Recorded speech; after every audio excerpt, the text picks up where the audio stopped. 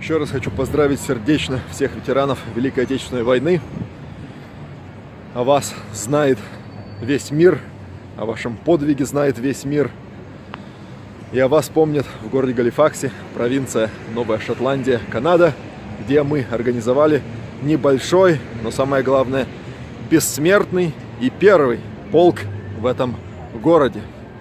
Я сюда пришел с Томойкиным Петром Алексеевичем и Ульяновым Алексеем Михайловичем. Еще раз, дорогие ветераны, с Днем Победы, с праздником! Ура, ура, ура! Да праздник это радость со слезами на глазах. День Победы! День Победы! День Победы!